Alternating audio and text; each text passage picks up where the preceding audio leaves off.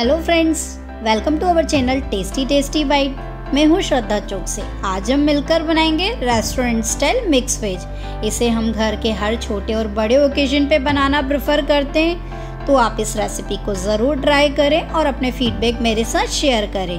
तो चलिए mix veg की रेसिपी को शुरू करते हैं। इसके लिए मैंने लिया है यहाँ पे आठ से दस लहसुन की कली। एक इंच मैंने लिया है अदरक का टुकड़ा। चार बड़े साइज़ के मैंने लिए हैं टमाटर।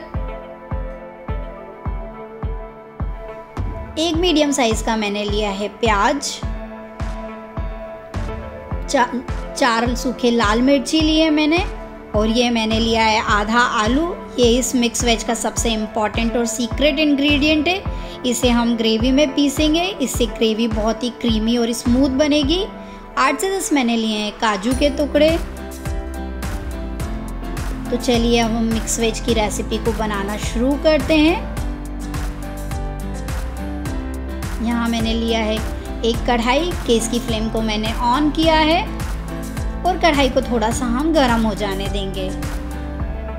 इसमें हम डालेंगे वन टीस्पून बटर यहाँ मैं आपको सजेस्ट करूँगी कि आप बटर में ही बनाएँ। इसमें जो मिक्स वेज बहुत ही टेस्टी बनती है। आप यहाँ ऑयल का भी यूज़ कर सकते हैं। अब हम बटर को मेल्ट हो जाने देंगे थोड़ा सा अब हम इसमें डालेंगे कटा हुआ लहसुन और अदरक। रफली चॉप किया हुआ प्याज डालेंगे। काजू डाल देंगे इसमें। सूखी हुए लाल मिर्ची डाल देंगे। और इसको हम अच्छे से मिक्स कर लेंगे। हमें प्याज को का कलर चेंज होने तक दो से तीन मिनट के लिए पका लेना है। हम इसको बीच में कई बार चलाएँगे देखिए, हमारी प्याज का भी कलर चेंज हो गया है। अब हम इसमें डाल देंगे रफली चॉप किया हुआ टमाटर। और इसको भी हम अच्छे से मिक्स कर लेंगे।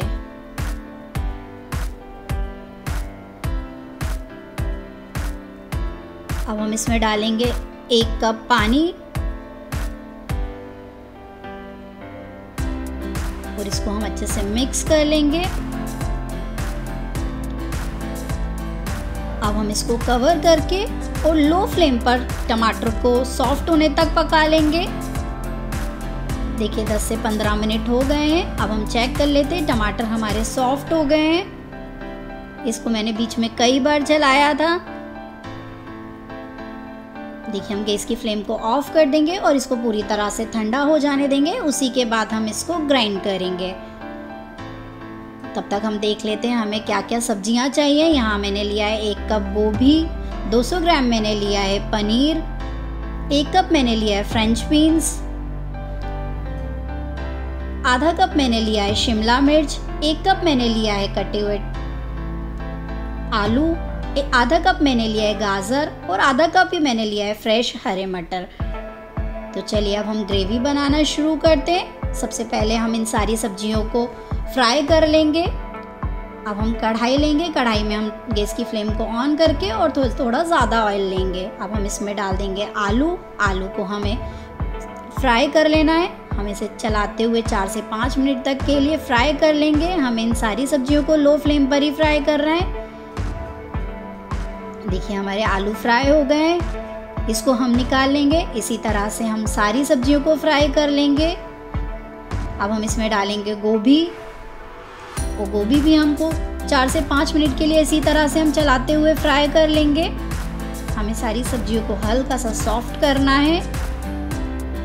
देखिए, गोभी भी हमारी फ्राई हो गई है। इसे भी हम निकाल लेंगे। हम सारी सब्जियों को एक ही बाउल में निकाल लेंगे।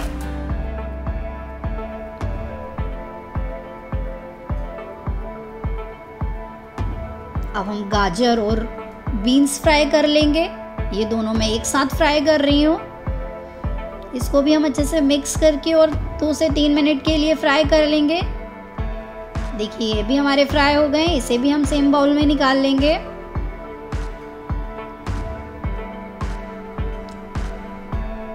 अब हम लास्ट में डालेंगे पनीर। पनीर आप चाहें तो नॉन फ्राई भी डाल सकते हैं बट मैं इसी तरह से फ्राई करके डालती हूँ। फ्राई भी हो, देखिए पनीर भी फ्राई हो गया है, इसको भी हम निकाल लेंगे। अब हम जो हमारी ग्रेवी बनाई थी, अब हम उसको ग्राइंड कर लेते हैं। हम एक ग्राइंडिंग जार लेंगे और उसमें पूरी प्यूरी डाल देंगे।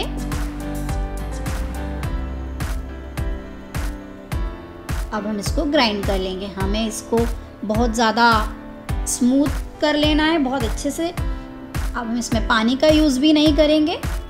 देखिए, मैंने ये ग्रेवी को ग्राइंड कर लिया है। इसी तरह से हमको प्यूरी ग्राइंड कर लेना है एकदम स्मूथ अब हम फ्राई कर लेते हैं अपनी सब्ज़ी को। हम गैस की फ्लेम को ऑन करेंगे सेम पैन लेंगे। सेम पैन में हम ऑयल कम कर दिया है। अब हम इसमें डाल देंगे हरे मटर और शिमला मिर्च। इन दोनों को हम एक साथ फ्राई करेंगे। इनको अच्छे से मिक्स कर लेंगे और हमें शिमला मिर्च को हल्का सा सॉफ्ट कर लेना है। इसको हम दो से तीन मिनट ही पकाएँगे।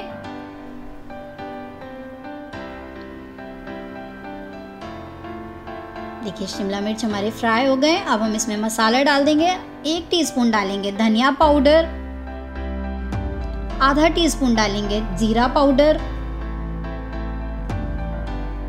नमक डालेंगे स्वाद अनुसार। आधा टीस्पून गरम मसाला डालेंगे। गरम मसाला मैंने इसी टाइम पर डाल दिया है। इससे हमारी ग्रेवी बहुत ही अच्छी बनेगी और इसको भी हम कुछ सेकंड्स के लिए पका लेंगे। हमें गैस की फ्लेम को एकदम लो रखना है।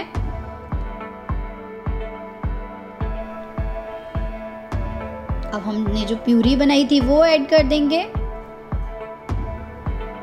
और थोड़ा सा इसमें मिक्स करके पानी डाल देंगे। और ग्रेवी को भी अच्छे से मिक्स कर लेंगे।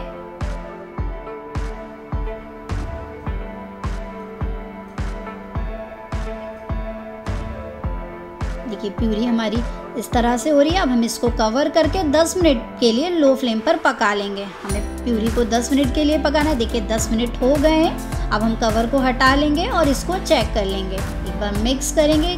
देखिए ऑयल रिलीज़ कर दिया है हमारी ग्रेवी ने। अब हम इसमें डालेंगे लाल मिर्ची पाउडर और इसको भी हम अच्छे से मिक्स कर लेंगे। और इसको भी हम कुछ मिनट्स के लिए फिर से पका लेंगे। जिससे जो लाल मिर्ची है, हमारी सारी ग्रेवी में अच्छे से मिक्स हो जाए और हमने जो फ्राई की हुई सब्ज़ियाँ थी, वो ऐड कर देंगे। और इसको भी हम अच्छे से मिक्स कर लेंगे।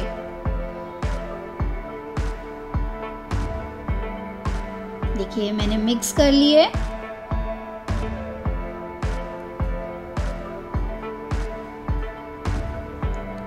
अब हम इसको कवर करके 10 से 15 मिनट के लिए लो फ्लेम पर पकाएँगे। हमें इसे तब तक पकाना है जब तक हमारी सब्ज़ियाँ पक जाएँ। देखिए, अब हम 10 मिनट हो गए हैं। हम चेक कर लेंगे हमारी सब्जियों को। हमारी सब्ज़ियाँ पक गई हैं बहुत अच्छे से। ग्रेवी में भी बहुत अच्छे से मिक्स हो गई हैं।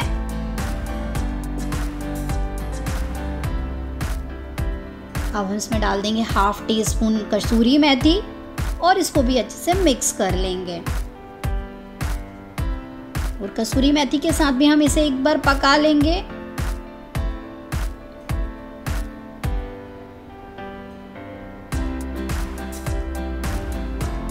अब उसमें कटा हुआ हरा धनिया डाल देंगे